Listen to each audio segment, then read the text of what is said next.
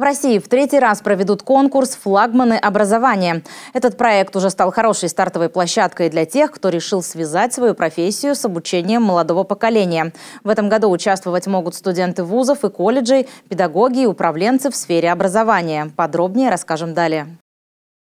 В России стартовала заявочная кампания на участие в профессиональном конкурсе «Флагманы образования» президентской платформы «Россия – страна возможностей». Конкурс проводится в рамках Года педагога и наставника при поддержке Минпросвещения России.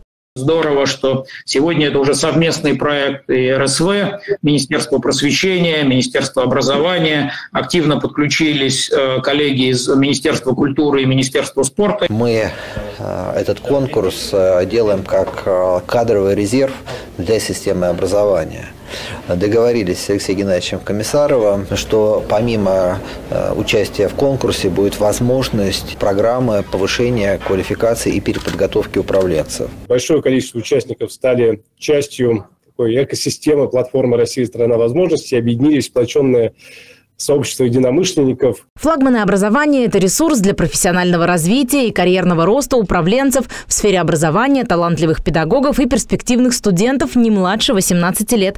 Участие в конкурсе индивидуальное. Конкурсанты пройдут обучающие семинары и тренинги. Для меня конкурс «Флагманы образования» – это шанс попробовать себя в разных ролях. В качестве участника, в качестве эксперта, в качестве слушателя классных и полезных мастер-классов. Финалисты и победители конкурса получат возможность войти в кадровый резерв системы образования Российской Федерации. Регистрироваться можно на сайте проекта «Флагманы образования».